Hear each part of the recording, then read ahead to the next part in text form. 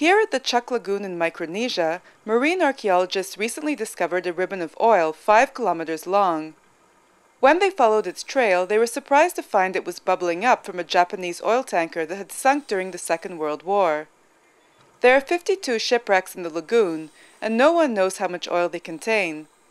Japanese historical documents aren't easy to access, but this large leak is worrying as it could confirm some recent predictions.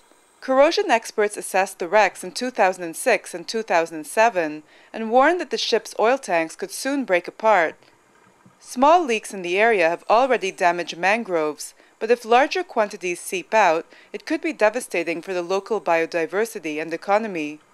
The problem is, the amount of fuel remaining in the boats has to be assessed and possibly pumped out. Since the vessels are foreign, it's not clear who would foot the bill, and the local government may not be able to afford such an operation.